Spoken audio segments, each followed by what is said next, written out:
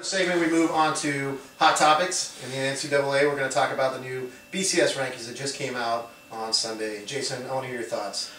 Well, I think they got it right. Surprisingly, for a Pac-10 fan, I think they got it right. Auburn deserves to be number one right now. I think beating a highly overrated LSU team, however, they have played the tougher schedule right now. Oregon is in the right spot at number two we got to wait till the end of the season, till all the computer data is in. Wait till all the teams have won the games. I don't even think the rankings should come out till later in the year. Um, right now, the everything seems to be right. I think uh, Boise State's in the right place, TCU, and so on down the line. Good point. Jack? I agree with Jason that the rankings, BCS rankings shouldn't come out till later in the season, that's for sure. That's just that's not right to start out way ahead of everybody else. But I was honestly I was a little surprised that Auburn um, jumped Boise State and Oregon and became the number one team. Now, obviously, they're a good team, but I was I was a little surprised at that. You know, honestly, to me, it'd be a little interesting to find out. Uh, I'd like to do an interview with those computers. I think there's eight computers. I'd like to interview each one of them, kind of get inside their head just a little bit, you know, and see what they're thinking. You know, because I can sell that information to some of the top bidder around, you know, top bidder, and they could really, you know, heighten their chances. You know, I, I, look at this Auburn team and all the scoring they've been doing, you know, and I, I wonder, you know, is this the same school that like two years ago beat Mississippi State 3 to 2? You know, I, I, I hard to get my arms around a team that scores that many points based on what they've done in the past. Uh, uh, so, the other thing in the BCS that kind of surprised me a little bit was Oklahoma dropping to 11th. You know, I don't think there's 10 teams out there, honestly, that can beat Oklahoma. So I was a little surprised at that drop. Other than that, I think the BCS polls are pretty much right on. Yeah, without sounding too redundant, I mean, I don't want to echo a lot of what you guys said because I agree with most of it. Um, no, I, I think uh, the top two teams, I mean, for all the complaints about the BCS, which I'm not a BCS fan myself, I'd rather go with the playoff format, but I think as of today, the top two teams in the nation are on par to play with each other. And uh, maybe I said that wrong. not to play with each other, to play each other. But uh, I think uh, at the end of the day, I mean, what a great matchup that would be, which I think is the best quarterback with Cam Newton versus the best running back in LaMichael James. So I think they got it right as of today. What will be interesting is if, if an Auburn or an Oregon loses, will that propel a Boise State or a non-qualifying uh, uh, uh team in there, like maybe a TCU? It'll be interesting to see what the nation, how the nation reacts to that. I actually don't think that'll happen. I think uh, as long as there is undefeated teams from major conferences. Right they will continue to jump Boise State and TCU right. until there are no more undefeated teams. We could end up with a national championship of a Boise State TCU matchup if everybody else has one loss. Yeah. But I'll tell you what, I think a, an Auburn-Oregon matchup would be a treat for the fans out there. Now that could be, I guess you could, you could, you could see that being a 60 to 50 affair. There's not going to be, there's not going to be a lot of defense no, involved in that game. That would be fun. It'd be, be definitely fun. an offensive showdown yeah. for sure. Yeah. The Pac-10, as we know, is going to disappear next year with the addition of Colorado and Utah, moving to the Pac-12, and the conference has made a realignment with the North and the South. Joe, I'd like to hear your thoughts on the new realignment that's been announced. I didn't even know there was one. Um, no, actually, uh, no. I, I, was more along the lines of the, the zipper. Um, I thought the uh, where you just split your rivals. I thought that was the the fairest way, but it seems like the the only two options that were really out there was the the Pac-10 North schools and they were either going to be with Cal and Stanford, which is how it is today, or they were going to be with the, the two newcomers. And I think they I think they did a good job. Um, I think ultimately in the Pac-10 for the Northern Division, if that's what we're calling it, they need some type of California influence in there.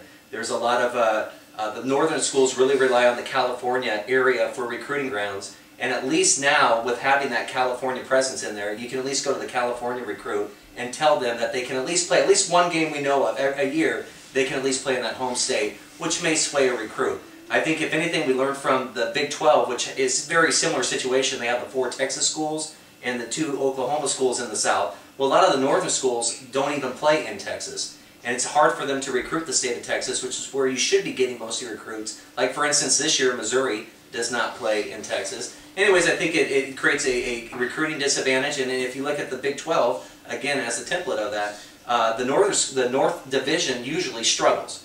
So I think by them adding uh, uh, the Southern Cal or the Northern California schools as well as those, that TV market, I think has balanced the league. I like the TV revenue and the uh, the actual just the revenue sharings in general puts them all in equal balance. And I also think that the, as just far as a competitive standpoint, I think it's pretty. I think it aligned nicely. I think in the north you've got, uh, you know, with Oregon, Oregon State, as well as Stanford, and in the south you got, you know, an eighth or ninth ranked Utah team, USC, and an Arizona team. I mean, I think that's an equal balance. So all in all, again, I would prefer the zipper, but the way that they have it now, I'm for it. I think it's fair. I'm going to come back to you if you want to put some more thought into your. No, I'm done. Jason, go ahead. What do you? What do you We get to talk.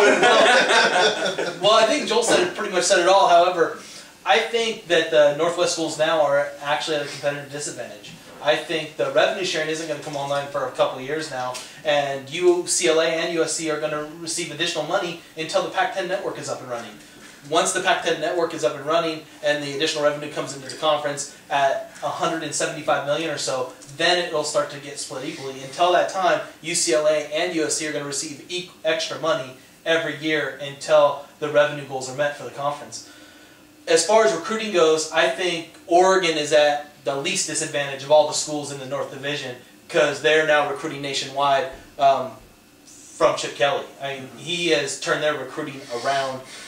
Uh, Washington probably will not be as affected, but the rest of the schools, Washington State and Oregon State, are in trouble right now. I think it- with this new. But would you lineup. but would you agree that it's much better having the Northern California schools in there, or or if they went with the other version of the of the Utah and Colorado joining? Well, once the Pac-10 championship game Mhm. starts next year, I think the northern schools would have been better off with Colorado and Utah, being that they might have had an easier way to get to the Pac-10 12 Pac-12 title game.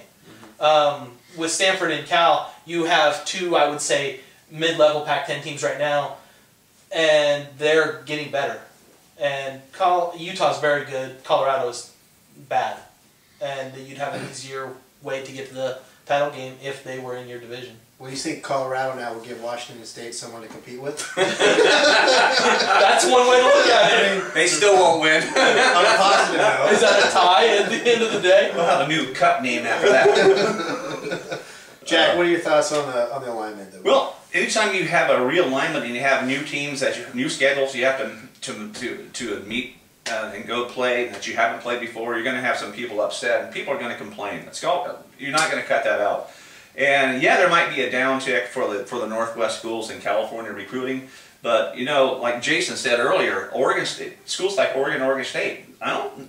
They're, yeah, they rely. They get the brunt of their recruits from California, but like Jason said, they've gone nationwide. Oregon State, Oregon, for example, now you know they've gone into Texas. They've got LaMichael James. They've got Darron Thomas, their quarterback. They got Josh Huff at wide receiver. They've got some kids on the bench that are pretty good. Oregon State, meanwhile, they've got the Rodgers brothers out of Texas. I don't know where Oregon State would be without the Rodgers brothers right now. Of course, right now they only got one Rodgers brother, but still.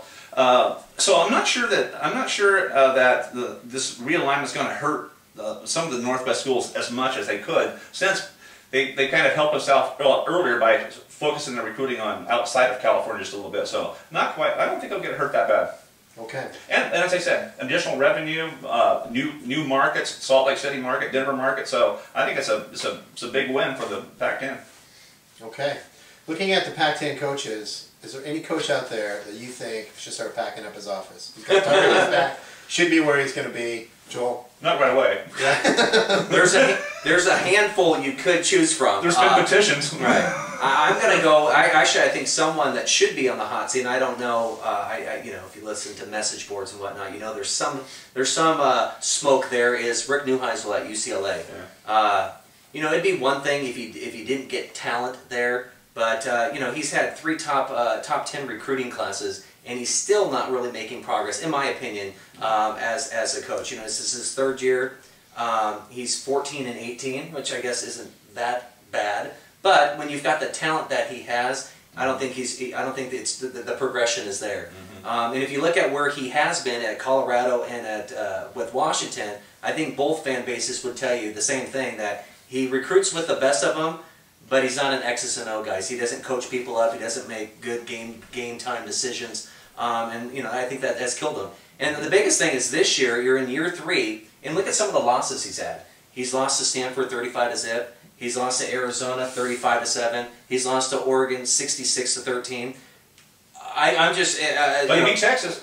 He did beat Texas, but so did Iowa State. But uh, but on that, I mean, so I mean, where where is the the progression? I mean, I mean, I don't know. I just don't see enough there. And if I was a UCLA fan, I would be calling for his head. Me personally. Jack, who do you put on the hot seat? Well, I think if you're going to talk about coaches on a hot seat, I think I think one candidate's got to be uh, Dennis Erickson at Arizona State. Um, know, Dennis, everywhere he's been, he's he's done the program well. Uh, he was at Miami, great teams at Oregon State, um, uh, Washington State, even even Idaho did better when Erickson was there. So. Uh, and initially, at uh, when he went to Arizona State, um, the team did well. They went, I believe, ten and three the first year. Went to a Holiday Bowl, great season. But after that, they've been into like a free fall. So, um, um, you know, it seems like every season the pollsters come out and they talk about Arizona State. They're going to be really good this year, and every year they kind of underachieve. So I don't know how much longer that could continue. You know, since since uh, Eric's been here, he's 22 and 22 right now overall. And, but in conference play, he's only 14 and 17. And that's just not going to sit well with the Arizona State fan base. I, I just don't think so. So it, it may be warm and sunny down in uh, Tempe, Arizona, but uh, for Dennis Erickson, I think he might find it be, to be getting a little bit too warm. All right, Jason, you got a different coach in mind? Of, of course, I'm gonna, I'm, I, I'm gonna take the low hanging fruit and go with Paul Wulff. the guy, hasn't even won five games. I mean, Washington State is is again a bad team. They're not getting better. They are not They're going to getting get a little better. better, Jason. Jason, you said they were getting a little better. They're, well, they're losing by less. I They're guess. It, I guess that's getting better. But um, until you win games, you're not going to appease your fan base, your boosters, uh, your athletic director, and Bill Moos now as the athletic director at Washington State. He'll be looking for a new coach come fall. Um, there's no doubt about it. There's too many good coaches out there without jobs right now, and Paul Wulff is done at Washington State. Okay, there you hear it. Hot topics.